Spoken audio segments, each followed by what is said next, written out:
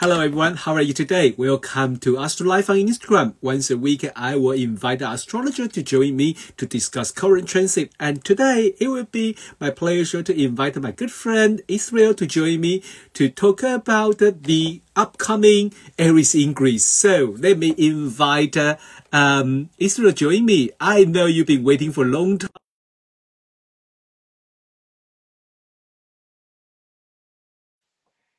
So, I mean, this coming up week, it would be really busy. We have Aries ingress, we have Mars into Pisces. Hello, friend. I'm here, I'm here, I'm here, eventually. Hey, how are you? I mean, you know, yeah, you know, yeah. It, is so nice to every time to chat to you. It's like it's so positive, Oh, and your thank you, thank you. just you know make us feel so warm and active and happy. This is what exactly we need when you look outside the sky. Exactly, very done. So how are Very you? How are you? How I'm good. You? I've been good. Been busy. Uh, yeah, racing up and down. I don't know. I, I think maybe the Mercury because I know Mercury. You know, he's been speeding ahead. You know, we're gonna he's gonna be going retrograde in a few weeks' time. And, Yeah. and, and I I think maybe I I think he's started the shadow period already. So maybe I'm just uh, I've just been finding little just little bits of Mercury pre-retro Mercury retrograde stuff. You know, uh, coming up. So Well, yeah, I think I think if we look at yes, it, it could be the the like this kind of pre-shadow, but I think yeah, also Mercury is a step into conjunct with Chiron, and that's right. We can That's can right. notice that chart, uh, we can notice in the Aries ingress chart, ingress chart, uh, for what tomorrow or Tomorrow, I, yeah. I'm I, already noticed a few few astrologers couldn't wait, they already post today as a Aries ingress. Okay, come on, Come on, man. on. Just you know, one I, more day of a winter, tw- 24, 24 hours, just 24 hours.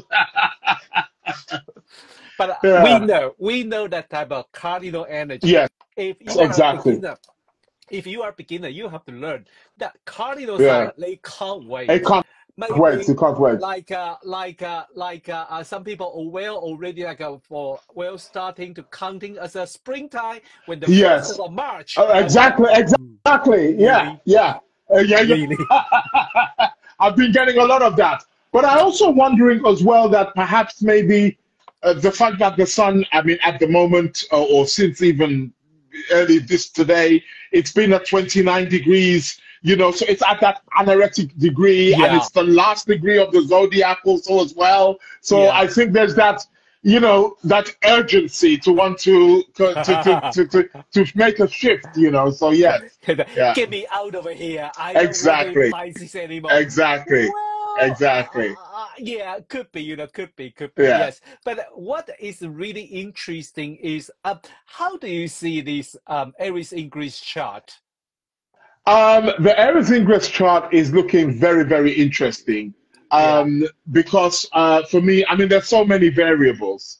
Um, I mean, uh, Mar- uh, the, the sun will move into the thing. Um, we've still got quite a few planets. We've got Venus, Saturn, uh, uh, uh, Neptune, of course, obviously in Pisces. So the sun is going to leave that, uh, you know, uh, you know, behind.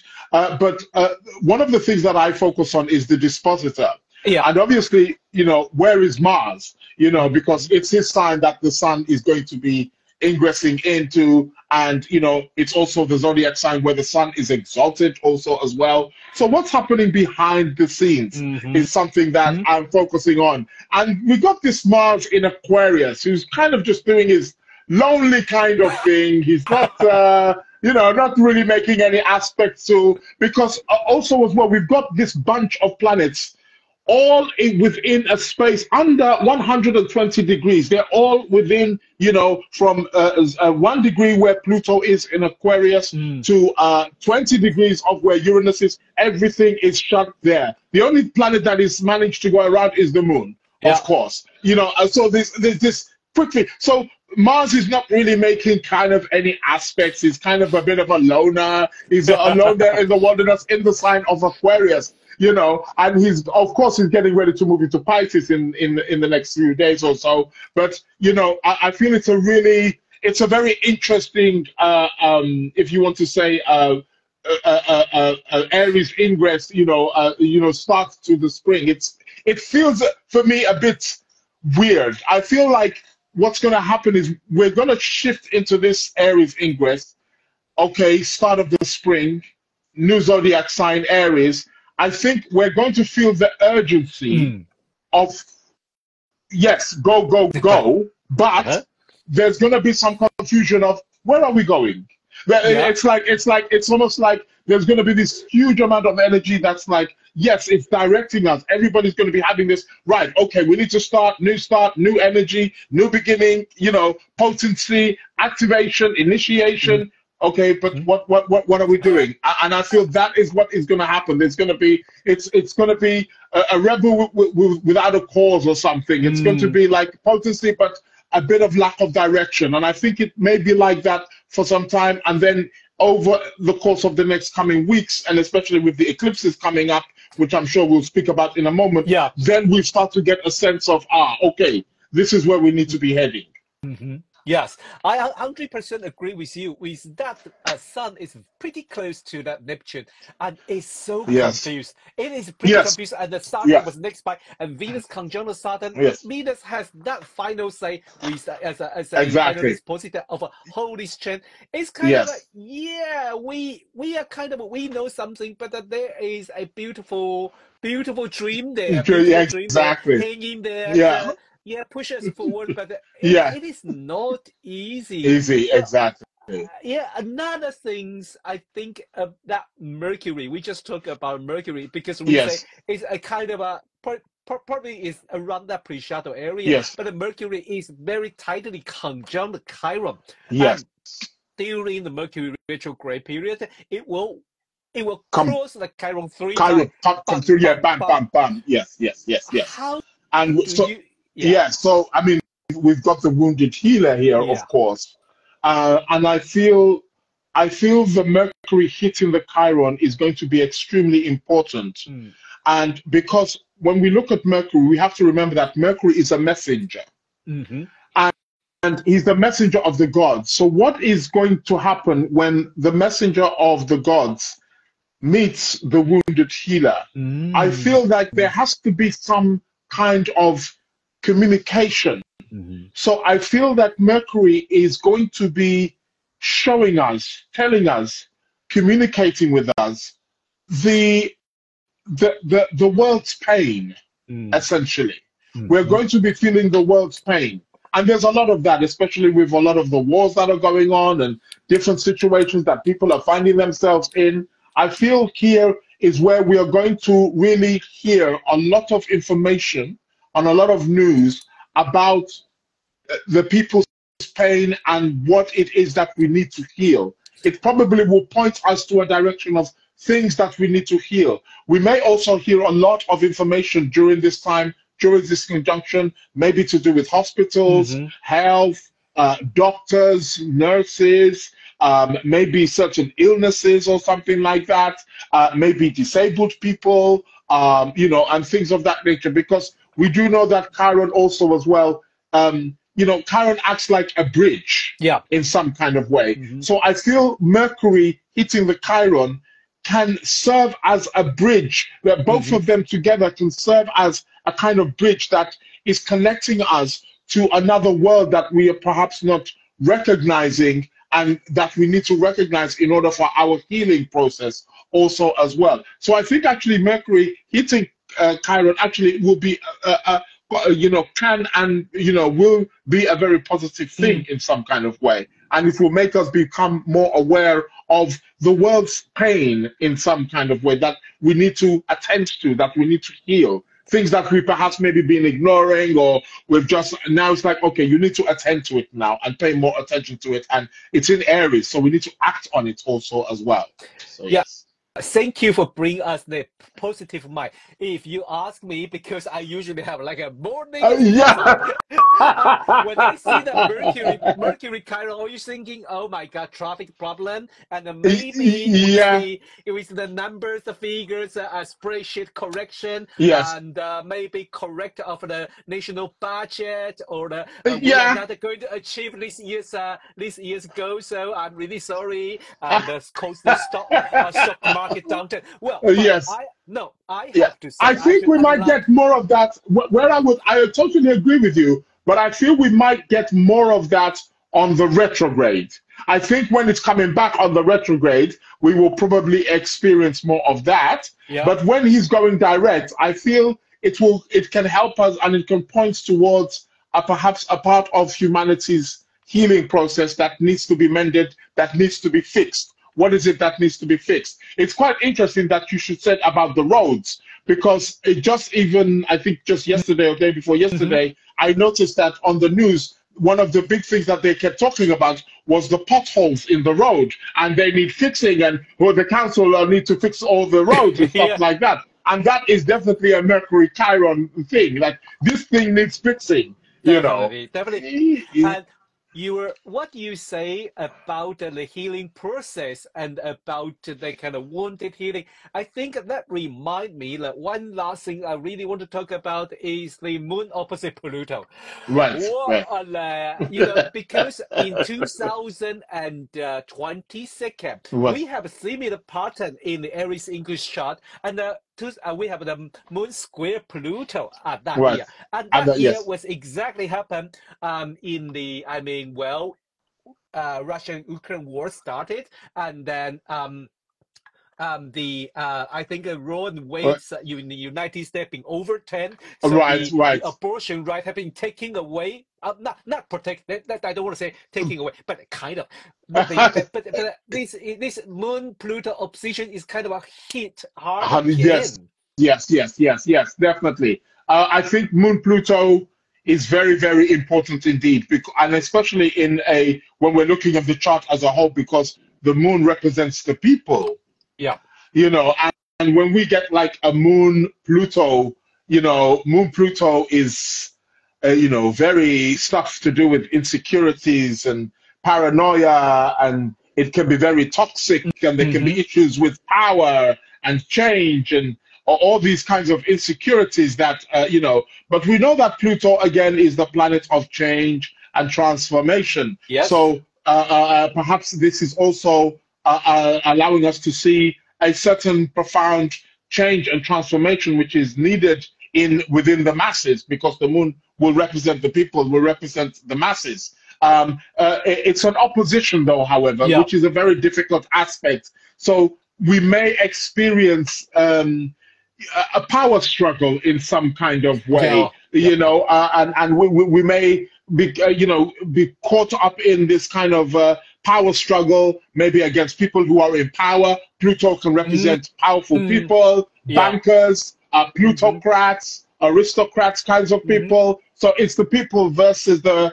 people in power and uh, or the elite, we could kind of say, and we could perhaps maybe experience that as well. Because let's not forget, you know, the chart for the ingress uh, uh, uh into Aries is kind of like a chart which was actually used which will tell us, uh, especially for over for over the spring season, yeah. so for the next three months, yeah, yeah, we will see this kind of energy. So this Moon Pluto is going to be playing out definitely over the course of the next.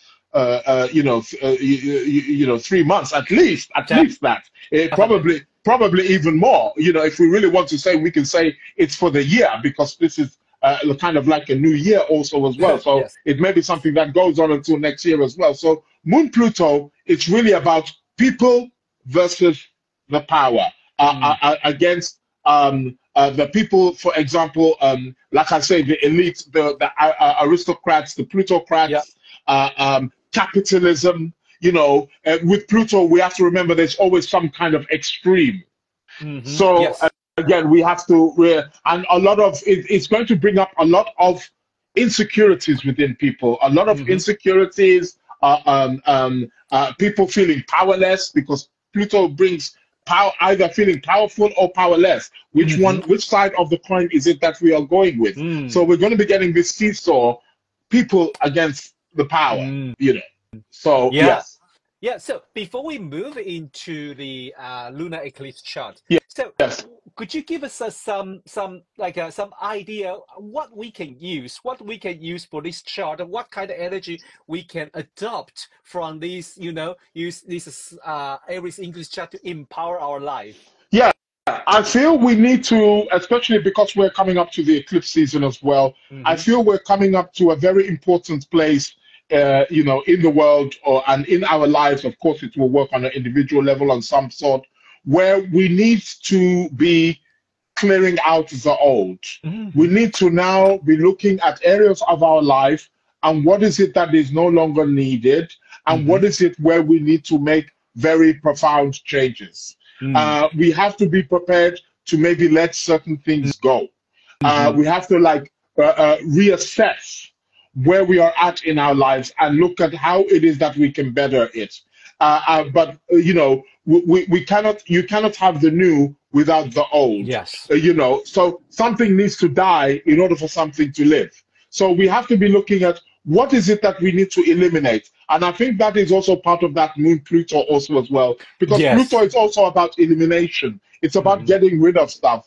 Pluto essentially is about really sort of like, you know, letting go of things. It's also, of course, it's about transmutation, transformation, but it's also about eliminating certain things, eliminating certain, you know, Pluto is kind of like a, a recycler in some kind of way. So we Mhm. have to kind of really look at, okay, what is it that we need to let go of that needs to be recycled? And how is it that we can definitely take it forward? And I feel we're getting a lot of opportunity with that. And the nodes also are going to be also a part of that story, which we'll talk about in a moment. We, it's, it, it, it's like this is a build up Mhm. to the eclipse season, and this is letting us know that okay, it, it, it's the spring equinox. This is always about new beginnings. It's Mhm. always about potency, and it's about really moving, uh, uh, uh, you know, uh, uh, ahead and forward and being productive. But we have to be prepared to let certain things go. The world is always changing. We have to adapt, and we have to make these changes. Yeah, I agree with you, and I hope, I sincerely hope, this process will be more smooth as the Sun sextile Pluto in Yes. this uh in this Aries ingress chart, and uh, Yeah. we just have a feedback that very much feeling the energy, uh, uh, this energy, and that has been been here, been been for a while. now. I now, I yes, agree. yes. Yeah, yeah. Yeah. So we are. I think we already stepped into the eclipse season and uh, Yeah. also the moon wobble season. So the first things we're going to encounter is the uh, next Monday, uh, 25th of March. We we are going to have a lunar eclipse. Well, That's in correct. UK we can see the beginning of it, and then Yeah. uh, f- followed by the sunrise where we Yes. can't see it anymore. But we, we, we can see the head. We can see the beginning of the, the beginning of it. That's right. Yeah, That's right. Yeah, yeah. So, how are you going to interpret these? What should we be, uh, you know, focus on for this lunar eclipse? This lunar eclipse is very, very interesting. Um, and I've, it's quite interesting because we've got two. The first one is going to be in Libra. We've got the lunar eclipse, full moon eclipse in Libra. It's going to be at five degrees of Libra. Um, it, I find it very, very Venusian Uh-huh. in, in many ways because, of course, it's going to be in the sign of Libra. Yeah. And Libra, we know, is ruled by the planet Venus. And Mhm. Venus is actually in Pisces at the moment, Mhm. where she is exalted. Mhm. Um, she is a little bit close to Saturn, so I think that's good. I think there can be some anchoring because of that. Yeah. But again, eclipses are always about new beginnings and endings, doors Mhm. opening and closing. I, I refer to the eclipses as the inhale and exhale in some Ah. kind of way. Um, and this is going to be in the sign of Libra, this full moon eclipse. And Libra, we know it's about the balance, it's about fairness, it's about justice, Mhm. it's about the equilibrium, it's about um, our uh, our approaches towards relationships in some kind of way. Mhm. And I feel the Venus in Pisces is really about is showing us some compassion that we need to be also um, um, uh, be using and relying on uh, uh, again. Uh, w- you know, with this, uh, you know, with, with this eclipse. I don't think this eclipse is so explosive, even though it's a full moon Mhm. eclipse. Yeah. Uh, full moons are always bringing things to fruition. They are always bringing things to uh, uh, to completion in some kind of way. They are illuminating in some kind of way. They are manifesting. Uh, and again, we have to remember that each uh, lunar eclipse repeats itself every 19 years. Mhm. So it's always very important for people to look at if they are of that age where they can look back 19 years ago, Mhm. 2005, round Mhm. about this time, what was Mhm. happening in your life, Mhm. what was finishing and what was beginning, uh, maybe even what was impacted maybe in your relationship life. Were there any changes? Was there anything new that was happening? And I feel like this is what this full moon eclipse essentially is about. Mm. Um, the full moon eclipse may also have a little bit of destructiveness, uh, uh, uh, um, uh, you know, with it also as well. The reason why I say that is because it's the full moon, and Mm. the moon is going to be on the side where the south node is. Uh-huh. So I feel like this full moon eclipse coming up, it's a full moon eclipse. It's bringing something to fruition based Mhm. on something in the past, Mhm. based on something that we have experienced or where there was a turning point in our life 19 years ago. Mhm. Uh, uh, and also as well because there would have been also been uh, some kind of a, a new moon around that degree 18 months Mm. ago. So Mhm. also in October of 2022. So around that time there would have been a new moon in Libra, and it would have been around that degree. Mm. So I, I urge people to see what was happening in your life, what was beginning new 18 months ago, because it's about to come to fruition Mm. right about now, eh, based on what we planted 18 months ago with that new moon around that time. So we're looking at 19 years ago, eight uh, approximately about 18 months ago, also Mhm. as well, to see some correlations as to what is happening in our life. But I feel Venus being the dispositor of this full moon eclipse is really going to be telling us the story. And it's in Pisces, where it's all about worldly love. It's all about letting go. It's all about the bigger picture, the sacrifice, the worldly love, the idealism. So I think we could, we may get a bit idealistic with it, definitely for sure. But I Mhm. think the conjunction with Saturn, or not too far because she's separating from Saturn, but or she will be at that time, but she'll be. But Saturn is there in the mix to be able to bring some realism, some concreteness to the uh, uh, you know to to to the picture. But uh, it's the second one. It's the solar eclipse, which happens two weeks later in Aries, and that is the big one for me. Mhm. I- Yeah. That is the one that I'm very much keeping my eye on. One of the reasons why it's a solar eclipse, when there is a solar eclipse, which is a new moon eclipse, it's the sun that has the power. Mhm. A lunar eclipse is the moon that has the Mhm. power. So this solar eclipse is going to be quite potent because it's a solar eclipse. The sun is also exalted. Not only that, it's going to be at 19 degrees of Aries, and this Mhm. is the exaltation degree of the sun.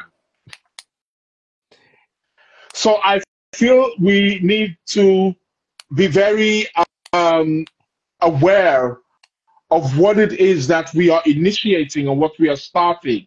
But Mhm. again, it's quite interesting because when we look at the dispositor for, for Aries for Mhm. this, Mars is also going to be in Pisces as well. yes. So I feel that there is something here. There's a huge energy that is this cardinal energy, these eclipses in this cardinal sign. We're getting a huge amount of energy to move forward, to Mhm. plow forward. Mhm. But at, behind it, it's saying, yes, move forward, initiate, start something new, go big. Uh, uh, but while you are doing it, do it with compassion Uh, Mm. think of the collective, think of the bigger picture, think of the sacrifice. So we are initiating, but we are also have the thoughts and the feelings and the compassion and the empathy of other people also as well in our life. And I feel that's how we need to work with these particular eclipses. They are Wow. very, very important indeed because we've got a lot of planets in Pisces still. Even Mhm. though the Aries is there, there's a lot of planets in Pisces that that are uh, um, yes. Uh, um, uh, we still got a lot of Piscean energy at hand. Yeah. You know, and, and both dispositors of both of the eclipses are in Pisces. Wow. Thank you. Thank you. Israel. I mean, you are totally, totally nail it. And uh, I, I don't know, I don't know what I can add more. Uh, yeah. It's So well impact and so well complex. I think Terry just mentioned about, I love your way uh, to the, Yeah. the, the, to- include a metonic cycle. Yes, in, indeed, metonic Yes. cycle is so important in all the lunation, Yes. including the, the new moon, full moon, and eclipse. Especially, I really love that.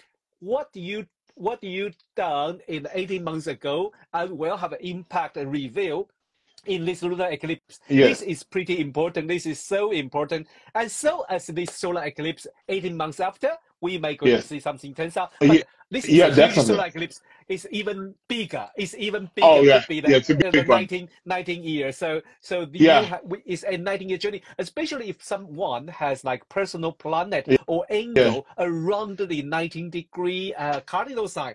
And that Yes.